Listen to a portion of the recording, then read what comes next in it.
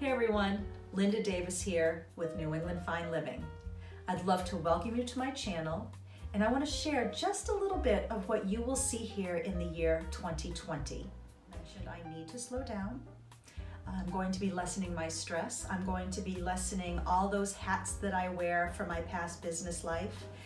Since I did focus on them all, my body told me it was time to slow down. My doctors told me it was time to slow down and I'm going to listen. Now, that doesn't mean I'm going to stop everything. There's just no way.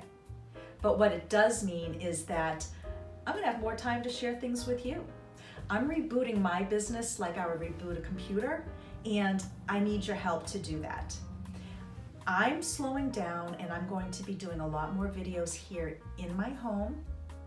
I'm going to be sharing my knowledge with you, and it could be all kinds of things.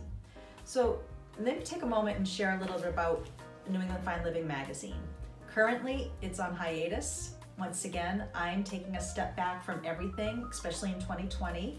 And the magazine is going to be my muse for YouTube. Decorating, entertaining topics, small business topics, gardening.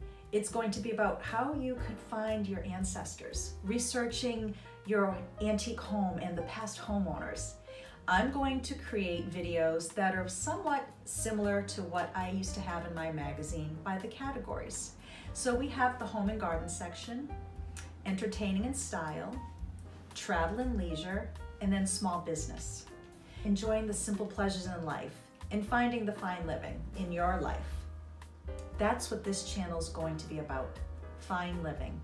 And that means something different to everybody. So I don't want to put this into one little category. My hopes are to inspire you to find your own version of fine living.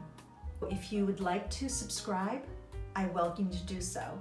If you want to know about new videos, tap that bell and you'll get notified. Give me a thumbs up and comment below because if you let me know what you want me to talk about or share, I would love to. And if it's a topic I don't know about and I want to learn about it, I'm going to research it and then I will share that with you too. So once again, thank you for visiting my channel and I hope to see you soon. Bye now.